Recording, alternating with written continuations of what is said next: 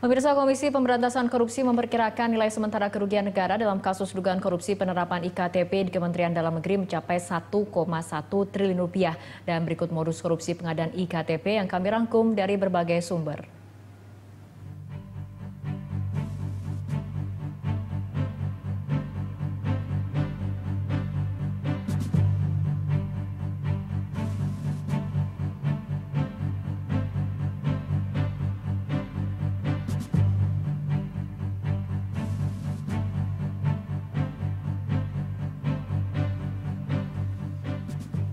Ya, Mas Tama mungkin bisa memberikan catatan ya mengenai uh, memang modus uh, korupsi dari pengadaan IKTP ini ya. Ya sebetulnya kalau bicara soal modus hmm. tidak ada hal yang baru yang hmm. kita anggap canggih dalam hmm. kasus ini. Tapi terus berulang. Tapi terus terjadi.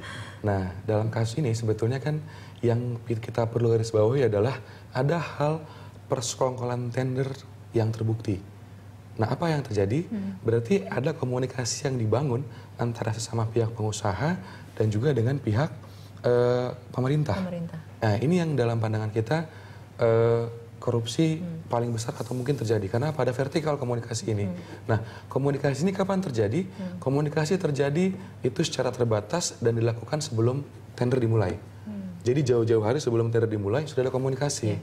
Oh kira-kira proyeknya akan bicara soal ini nilainya sekian, pengarahannya sekian yang sepanjang saya ketahui itu ada semacam komunikasi via email di antara para pengusaha hmm. dan juga pihak dari uh, kementerian. Dan ini yang kemudian juga terlihat dalam uh, putusan KPPU. Hmm. Nah, jadi KPPU sudah mengatakan ada yeah. persoalan tender. Nah, sebetulnya itu yang menjadi uh, poin utamanya.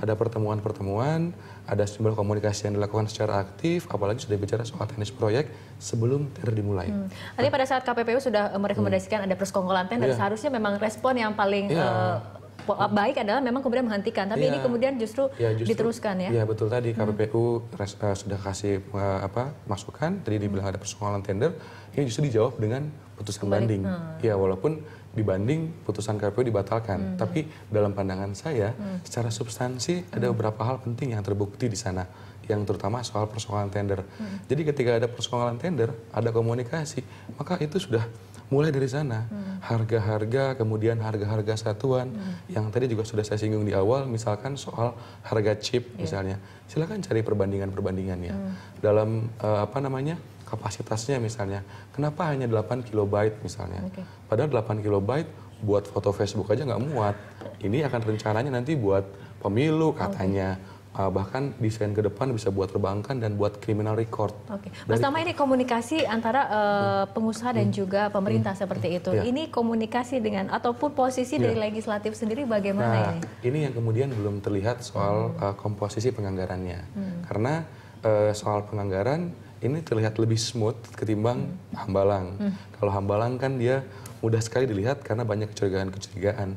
Anggaran naik dalam kurun waktu enam bulan, hmm. Nah, terus kemudian proses uh, anggaran tambahan juga naik dalam waktu yang hitungan bulan, tidak hmm. tahunan. Hmm. Beda dengan iktp yang memang di anggarannya tidak begitu banyak uh, memancing kecurigaan banyak pihak. Hmm. Jadi lebih smooth mungkin dalam pandangan saya. Hmm. Nah, sehingga saya juga tidak punya gambaran lebih uh, detail dan terjamin gitu ya soal potretnya. Ya okay. sejauh ini hanya melihat soal komentar-komentar Nazarudin saya dalam hmm. pemberitaan.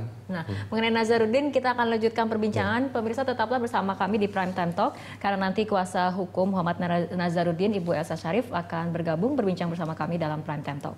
Tetaplah bersama kami.